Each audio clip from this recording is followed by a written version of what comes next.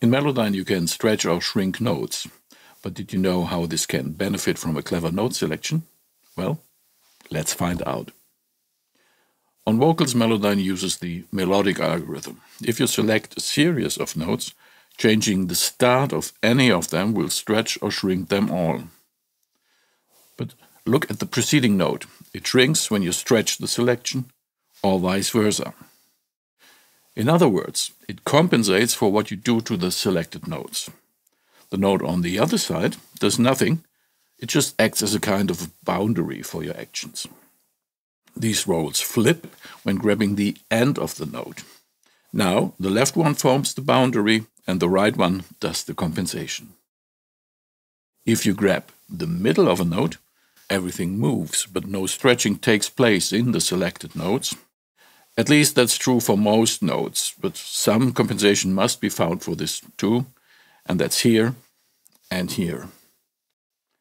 To completely avoid stretching, use the separation type tool and double click on the line between notes. This will then become two separate lines or brackets. Now you can move the passage without any stretching, even creating gaps or overlaps. The stretching rules for the other Melodyne algorithms are slightly different, and I will cover this in different videos then as well. For today, let's stick to vocals and talk about the special treatment of breath and sibilance. When stretching a bunch of notes at the same time, any S involved will just move along, but it will not stretch. At least that's the case if there's a pitched part beside the S and both are inside the same blob only when you make sure that the entire blob was sibilant.